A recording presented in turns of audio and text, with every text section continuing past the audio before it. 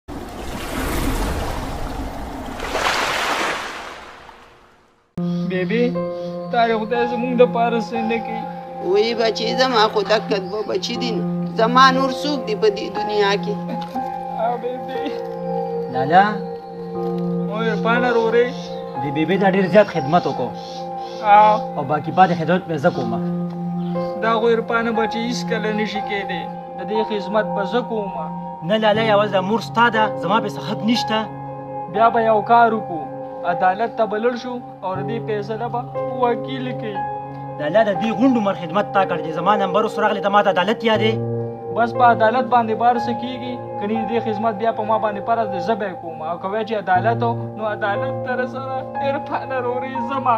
سیده لالا سیده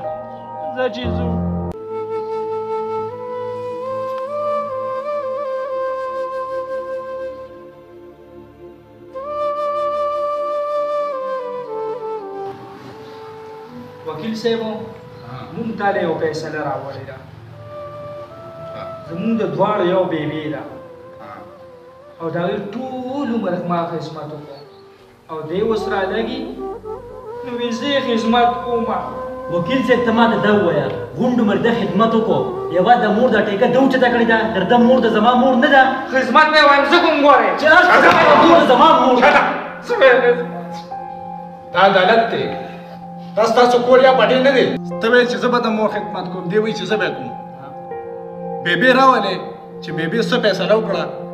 دې اخلي یا تا اخلي هغه باندې به فیصله صحیح ټیک شو وکیل صاحب اوس یې لراولم تللی شي کاشفه جی وکیل صاحب راته ښکاري چې دا بې بې د سرو چنچڼه ده ما ته هم دغه شان ښکاري وکیل صاحب ښه بینک بیلنس چې ورسره پټي دي ورسره د دې په جګړه په دې ده چې یو وی چې زه به خدمت کوم بل وی چې زه به خدمت کوم راته ښکاري چې دې بیبې کې څه چل شته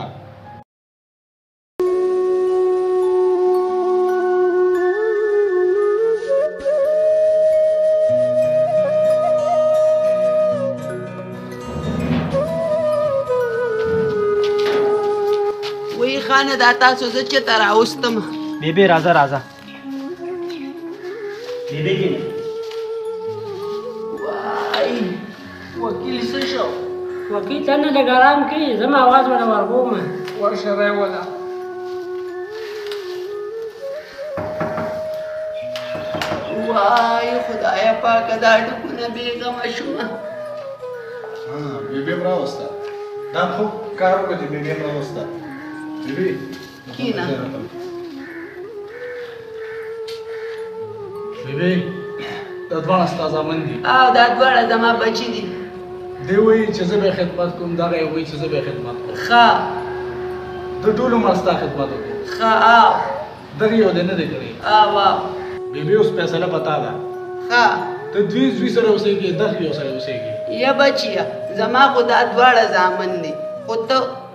ووایه کنه او فیصله به زه په تا باندې وکړم ته وکیل یې.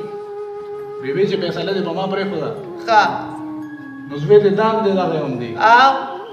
ده دې ټول عمر خدمت وکړ. او. دغه یو دې نه دی کړی. او. نن نه پس په تو دخ دې زوی سره.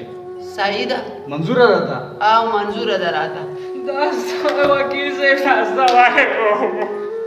زه په ژوند کې نه فرق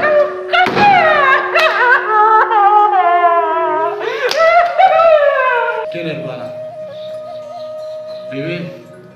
تا کې د څه خصوصیات دي د دوه زمون تا خوخی نن سبا خدا سي اولاد دي چې مور او پلار د ځان نه لري کوي تا کې داسې خصوصیات تا سره مال دی جیداد دی بینک بیلنس تا سره داسې سری چې د دوه ځمن تا خوخی تا ځان تر نږدې کوي ځان ته یا بچي زه خو د الله تعالی عجز فقیر یم په پردي کور کې مونږ اوسېږو خو خدای پاک دې زما د بچو ډېر قدر وکړي خپل بچي ما سره ډېره زیاته مینه کړي خو زه به درته دا ووایم چې دې بچو له ما د ماشوموالي نه تربیت د مدرسې ورکړی د دواړو نه ما عالمان جوړ کړي دي نو چې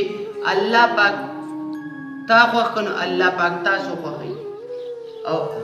عالم نه دی عالم عالم ټول عمر د مور خپل قدر کې ستا خیال نه په ما باندې د دواړو بچو جګړه بیبي الله دې زماره د واګان د پار لره الله دې عمر ژوند درکا امين سرستاسو